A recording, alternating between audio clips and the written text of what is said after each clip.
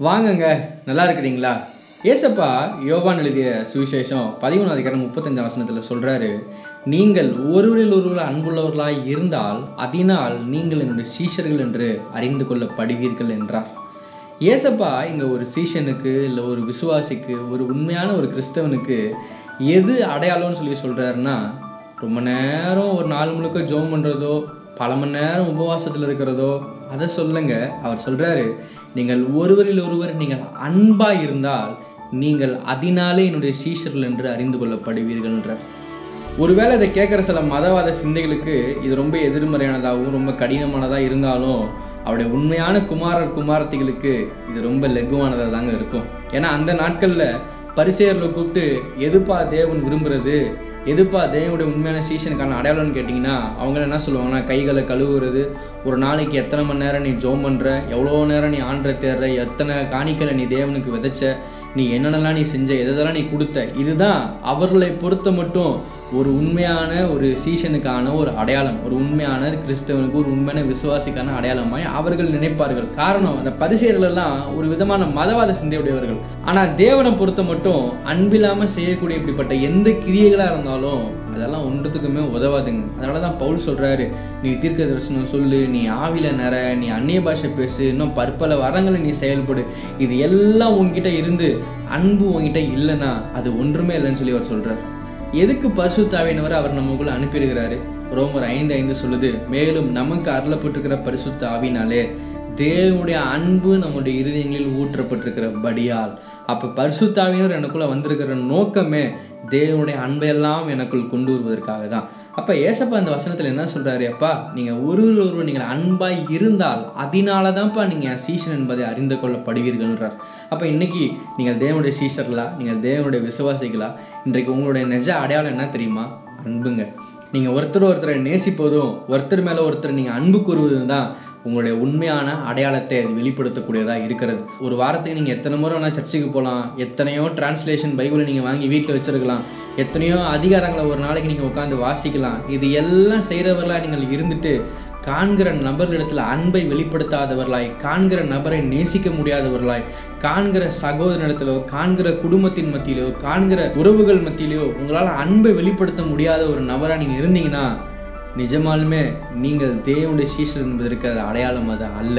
அதனால தான் ஒன்று யோவான் நாலு ஏழில் யோவான் சொல்கிறாரு பிரியமானவர்களே ஒருவர் ஒருவர் அன்பாக இருக்க கடவும் ஏனெனில் அன்பு தேவனால் உண்டாகி இருக்கிறது அன்புள்ள எவனும் தேவனாலே பிறந்து அவரை அறிந்திருக்கிறான்னு சொல்லி சொல்கிறார் அப்போ யார் யாரெல்லாம் அன்புடையவர்களாக இருக்கிறார்களோ அவர்கள் தான் தேவனாலே பிறந்தவர்கள். அவர்கள் தேவனை அறிந்தவர்களாக இருக்கிறார்கள். இன்றைக்கு உங்களால் மற்றவர்களை நேசிக்க முடியலன்னா உங்களால் ஒருத்தட்ட அன்பை காட்ட முடியலன்னா என்னால் உன்னை உறுதியாக சொல்ல முடியும். நீங்கள் இன்னும் தேவனை ஒழுங்காக அறிஞ்சிக்கலன்னு நான் நினைக்கிறேன். ஏன்னா அவரை உண்மையாய் அறிந்தவர்களால் நிஜமாலுமே மற்றவர்களை நேசிக்காமல் இருக்க முடியவே முடியாது. அப்போ ஒரு சீஷனோட ஒரு உண்மையான அடையாளம் ஒரு விசுவாசியோட ஒரு உண்மையான அடையாளம் ஒரு தேவனை ஏற்றுக்கொண்ட ஒரு பிள்ளையோட உண்மையான அடையாளமே அன்பு தாங்க எவ்வளோ கிரியைகளை எவ்வளோ காரியங்களை நீங்கள் தேவனுக்கு நீங்கள் செஞ்சாலும் இல்லை மற்ற மனுஷங்களுக்கு நீங்கள் செஞ்சாலும் அன்பு இல்லாமல் நீங்கள் செஞ்சீங்கன்னா அதனால் எந்த ஒரு பிரயோஜனமுமே இல்லை. அதனால் இன்றைக்கு நான் உங்களை பார்த்து சொல்கிறேன் எதை செஞ்சாலும் ஒரு அன்பின் நிறைவோடு கூட அதை நீங்கள் செய்யுங்க. குடும்பங்களில் உறவுகளில் உங்கள் அக்கம் பக்கத்து வீடுகளில் நீங்கள் வேலை செய்கிற இடங்களில் படிக்கிற இடங்களில் நீங்கள் எங்கே இருந்தாலும் உங்களுக்குள்ளே தேவன் விட்டிருக்கிற அந்த அன்பை மற்றவர்களுக்கு வெளிப்படுத்துகிறவரில் காணப்படுங்க. அதுவே நீங்கள் தேவனுடைய பிள்ளைகள் என்பதற்கான ஒரு மிகப்பெரிய ஒரு அடையாளம். அதற்காக ஜோம் பண்ண வேணாமா? அதுக்காக உபவாசம் போட வேணாமா? அதுக்காக பயில் படிக்க வேணாமா? அப்படின்னு நான் சொல்லவே இல்லைங்க. நீங்கள் அதெல்லாம் செய்யணும். செய்யுங்க.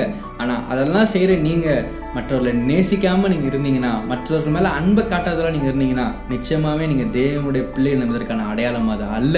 அதெல்லாம் நான் சொல்கிறேன் இதையெல்லாம் செய்கிறவர்களாக நீங்கள் இருந்தாலும் உங்களுடைய வாழ்க்கையின் அடையாளமே அன்பு தான் பைபிள் அதனால தான் பவுல் சொல்கிறாரு அன்பினால் கிரியை செய்கிற விசுவாசமே உதவும் அப்படின்றார். அன்பு இல்லாமல் நான் தேவனை தேடுறேன் நான் தேவனை நம்புகிறேன் நான் தேவன்கிட்ட ஜெபிக்கிறேன் நான் உபவாசம் போட்டிருக்கிறேன் நான் இந்த விண்ணப்பத்தை வச்சிருக்கிறேன் அந்த விண்ணப்பத்தை வச்சிருக்கிறேன்னு சொல்லிட்டு அன்பில்லாமல் நம்ம எதை ஒன்றை செய்தாலுமே அதனால் ஒரு பிரயோஜனமும் இல்லை. அன்பினால் கிரியை செய்கிற விசுவாசம் தான் உதவும். பைபிள் வசனம் சொல்லுது நாம் பாவிகளாக இருக்கையில் கிறிஸ்து இயேசு நமக்காய் மறித்ததினாலே தேவன் நம் மீது வைத்த அன்பை அவர் விளங்க பண்ணினார் நம்மலாம் ரொம்ப நல்லவங்களா இருக்கிறப்ப தேவன் நமக்காக மறித்து அன்பை விளங்க செய்யலைங்க. நம்ம எல்லாம் பாவிகளாக இருக்கும்போது கிறிஸ்து நமக்காய் மறித்து தம்முடைய அன்பை நமக்கு விளங்க பண்ணினார்.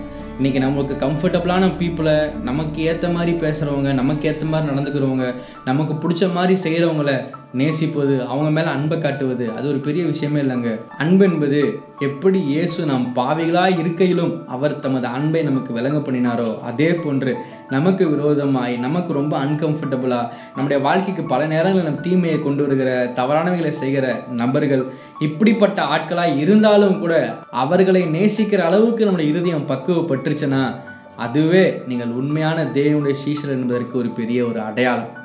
அதனால் இன்றைக்கு நான் உங்களை பார்த்து நான் சொல்கிறேன் உங்களுக்குள் ஏற்கனவே ஆழமாய் தேவனுடைய அன்பு பரிசுத்தாவினாலே ஊற்றப்பட்டு இருக்கிறது. அதை பயன்படுத்துங்க அதை மற்றவர்களுக்கு பகிருங்க அதை மற்றவர்கள்ட்ட வெளிப்படுத்துங்க. அதுவே நீங்கள் உண்மையான தேவனுடைய பிள்ளைகள் என்பதற்கான ஒரு பெரிய அடையாளமாய் அது இருக்கிறது. அதனால் இந்த நாள் முதற்கொண்டு உங்கள் அடையாளத்தில் செயல்பட தொடங்குங்க.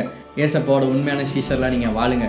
இந்த வார்த்தை சொல்லி நான் உங்களை ஆசீர்வதிக்கிறேன். இலைப்பாளரோடு உங்கள் நாளை தொடங்குங்க. அந்த நல்ல தகப்பன் அவர் உங்களோட அவர் இருக்கிறார்.